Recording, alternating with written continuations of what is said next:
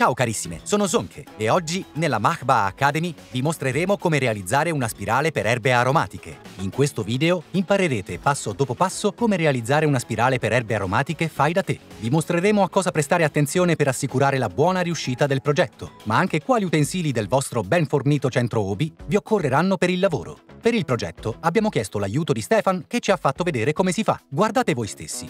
La realizzazione di una spirale per erbe aromatiche ha un grado di difficoltà di 3 su 5. Per il progetto dovreste preventivare circa mezza giornata, compreso il tempo per gli acquisti nel centro Obi. Fatevi aiutare da un amico o da un'amica. Nel nostro caso ho realizzato la spirale insieme a Stefan. Per la preparazione cercate un luogo adatto alla spirale e definite le dimensioni. Nella fase successiva pianterete i paletti in legno e fisserete il tutto con filo metallico. Riempirete le zone della spirale con miscele di terriccio diverse, metterete a dimora le piantine e concluderete con un'abbondante innaffiatura. E ora rimbocchiamoci le maniche e iniziamo a costruire la nostra spirale. Una spirale come questa non solo fa risparmiare spazio, ma con le sue altezze diverse assicura anche condizioni di luce e terreno ottimali per le varie erbe aromatiche. Prima di tutto abbiamo cercato un posticino al sole e definito le dimensioni della nostra spirale. Accertatevi che non ci siano troppe radici nelle vicinanze, altrimenti piantare i paletti in legno potrà risultare abbastanza difficile e soprattutto faticoso. Prendete un tubo flessibile lungo 4,50 m e posatelo sul terreno, dandogli la forma di una spirale. In questo modo potrete già visualizzare bene il progetto. Per essere precisi fin dall'inizio, abbiamo preso le misure più volte, con un metro pieghevole. Accertatevi che il diametro sia di 1,20 m e che la distanza da un tratto di tubo all'altro sia di 30 cm. Potrete quindi tracciare la forma della spirale con la sabbia. Seguite l'esterno del tubo, altrimenti la spirale risulterà troppo stretta. Accertatevi anche che l'uscita sia rivolta verso sud, così tutte le piante riceveranno abbastanza luce dal sole. Un altro piccolo suggerimento. Procedete sempre dal centro verso l'esterno, così manterrete la visuale d'insieme. Come marcatura, piantate un paletto in legno al centro. Già così abbiamo ottenuto un effetto molto ordinato. Ora mettiamoci al lavoro. Ora vogliamo piantare i paletti in legno nel suolo. Il primo palo deve entrare per 30 cm nel terreno, così sarà sempre stabile. Come potete vedere, i listelli sono disponibili in lunghezze diverse, altrimenti dovreste piantarli sempre più a fondo nel terreno. Ogni palo successivo deve essere piantato a una distanza uguale dal precedente, ma a una profondità un po' maggiore. La profondità dipende dalla quantità di pali, ma anche dalla differenza tra il palo più alto e il palo più basso, quindi bisogna fare un po' di calcoli. Per questo abbiamo preparato un piccolo schema, così potrete seguire meglio la procedura. Iniziate con il palo al centro e costruite la spirale passo dopo passo procedendo verso l'esterno. Ecco come appare la spirale srotolata. I pali hanno lunghezze diverse e si inizia dal più lungo. Il palo principale dovrebbe fuoriuscire dal terreno di circa 80 cm. Quindi ogni palo successivo dovrà essere piantato più in basso di 1,4 cm, ovvero alla larghezza di un dito. In ogni zona i pali devono essere un po' più corti rispetto alla zona precedente. Così potranno essere conficcati a una profondità sufficiente e voi potrete mantenere la graduazione. Il risultato sarà una forma a gradini piacevolmente uniforme. Gli ultimi pali sporgeranno dal terreno per appena 10 cm. Troverete lo schema anche nelle istruzioni disponibili per il download. Altri due piccoli consigli per usare il martello. Meglio indossare dei guanti gommati, perché se vi scivola il martello può colpire rapidamente le dita o anche un occhio.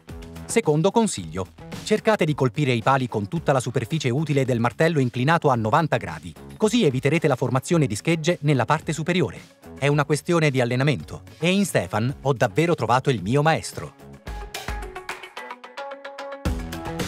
I pali sono già conficcati nel terreno e ora vogliamo stabilizzarli ulteriormente. Niente paura, il lavoro è molto semplice. Prendete del filo metallico per recinzioni con un diametro di almeno un millimetro e alcune grappe per il fissaggio. In alternativa va bene anche una corda di cocco. Iniziate passando il filo metallico intorno al primo palo. Poi intrecciate un po' le estremità. Ora tagliate la parte in eccesso con la pinza. E infine fissate con la graffa e il martello. In seguito passiamo il filo dall'esterno intorno alla spirale e lo avvolgiamo intorno a un palo ogni tre. Tutti i pali saranno quindi collegati uno dopo l'altro e si stabilizzeranno a vicenda. Piccolo consiglio, se attorcigliate il filo come nel video, i giri saranno più stretti e assicurerete ancora più stabilità. In più, il risultato sarà davvero professionale. Nella fase successiva riempiremo la spirale e dovremo innanzitutto contrassegnare ogni singola zona con la sabbia. Per zone diverse vi occorreranno ovviamente anche miscele di terriccio diverse. Qui abbiamo riassunto brevemente per voi i tipi di miscele di terriccio che occorrono. Zona superiore. Terreno sabbioso. La miscela è composta da terriccio per trapianti e sabbia in parti uguali. Nel nostro caso sono due sacchi di terriccio per trapianti e sei sacchi piccoli di sabbia. Zona centrale il terreno è neutro e quindi occorre solo del terriccio per trapianti. Nel nostro caso si tratta di tre sacchi da 60 litri. Zona inferiore. Terreno con compost in proporzione di 4 a 3, 4 parti di terriccio per coltivazioni biologiche e di erbe aromatiche e 3 parti di terriccio per trapianti.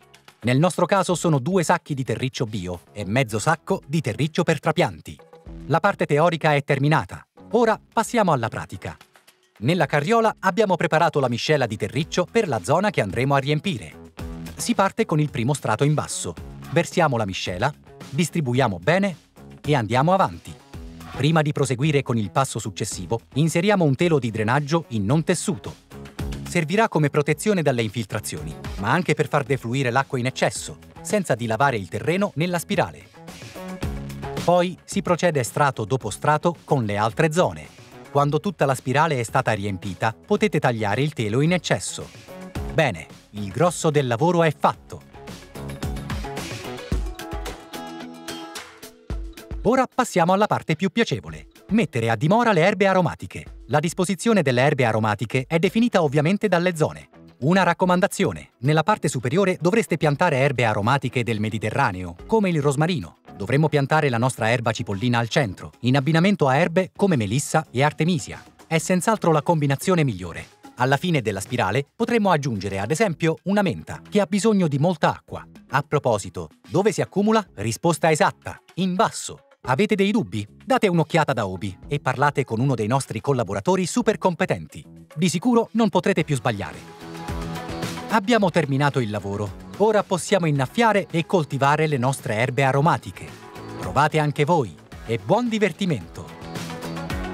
Abbiamo concluso il progetto e spero che vi sia venuta voglia di imitarlo. Se state cercando altre idee per il giardino, abbonatevi al nostro canale e scriveteci i vostri commenti, domande o desideri. E non dimenticate, fatto con Obi!